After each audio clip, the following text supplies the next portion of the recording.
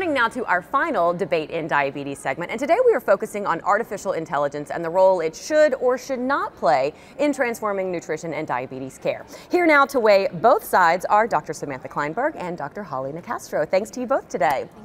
All right, Dr. Kleinberg, I want to get started with you because you say, yes, it is time now to harness AI. Yeah, I think it's a really exciting time for AI, diabetes, and nutrition all coming together.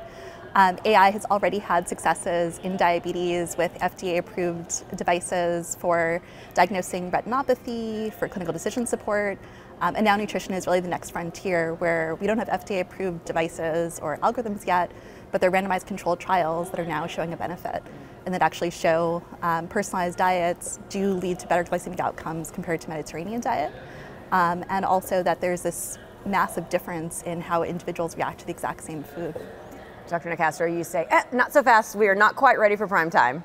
That's right. So we've seen some really exciting proof of principle and efficacy studies, but we haven't yet studied a diverse enough sample of participants for us to be able to say that any benefits we find are going to be applicable to all.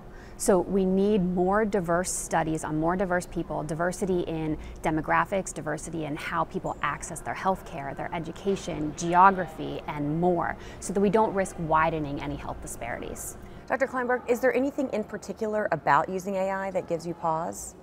I think, like Holly, um, I share the same concerns about, you know, we've studied isolated populations in Israel or in the Midwest. They haven't been necessarily representative of the entire US or even other populations abroad. And so we don't know for sure how well these devices or algorithms are going to work for everyone. Um, I think the results are really exciting and promising. Um, and with AI in general, we always have to be worried about generalizing to new populations, that we might be picking up on something that's not necessarily related to the outcome, that's just an artifact or something like that. And so making sure we have robust algorithms is really important. Dr. Nicastro, how close do you think we are to being able to completely utilize AI in a clinical setting? I think we're close. Um, like Dr. Kleinberg mentioned, there we are using AI in other applications, just not yet for personalizing dietary recommendations.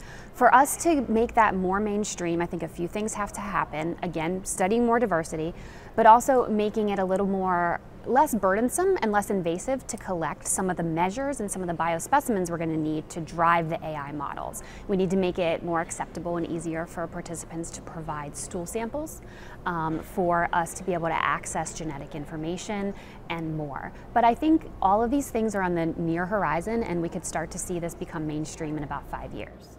Oh, that's pretty soon. Would you feel comfortable with it being implemented sooner than that if physicians know to maybe take the data with a grain of salt?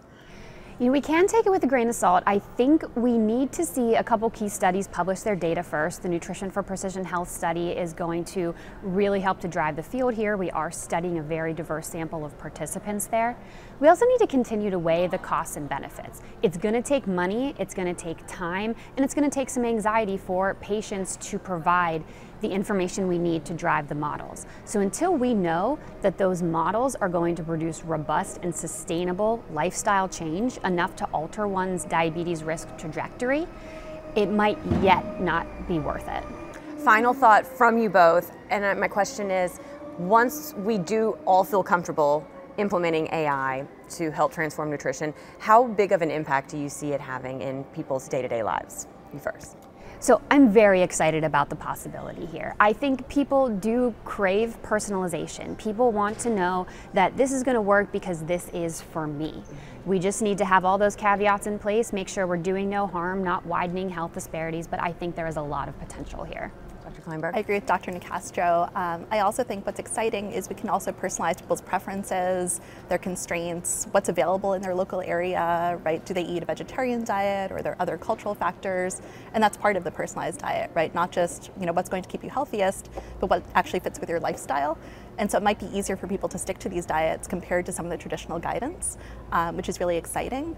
Also, it's currently burdensome to collect you know, stool sample and all these other things from individuals, um, but it might not necessarily be necessary. And so some of the AI algorithms we're working on might be able to personalize to someone based on other characteristics and get very close to that in a much more lightweight way that doesn't have all the expense and doesn't have all the startup uh, time and energy. Well, we can all agree that it's very exciting to see how technology is transforming diabetes care. So thank you both so much for your time today and for your each uh, perspectives. Appreciate Thank it. Thank you. Thank you.